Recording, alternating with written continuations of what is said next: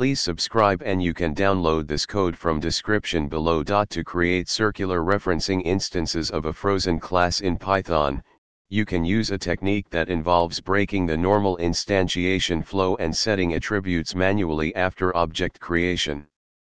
This tutorial will guide you through constructing circular referencing instances of a frozen class step by step. Circular references occur when objects refer to each other in a cyclical manner.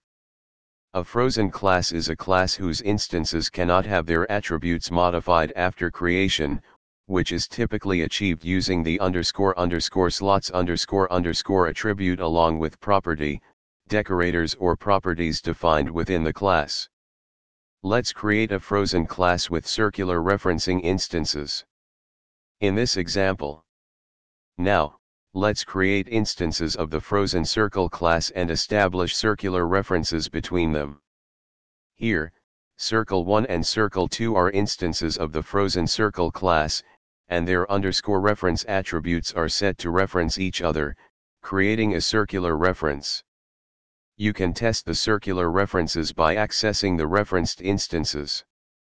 The output demonstrates that each instance holds a reference to the other instance, forming a circular reference. This attempt to add a new attribute to a frozen instance will raise an attribute error since the frozen circle instances are immutable after creation due to the use of underscore underscore setattr underscore underscore. Creating circular referencing instances of a frozen class in Python involves defining a class with restricted attribute modification using the underscore underscore slots underscore underscore mechanism along with custom underscore underscore underscore underscore methods. This allows you to create instances and establish circular references while maintaining the immutability of these instances. ChatGPT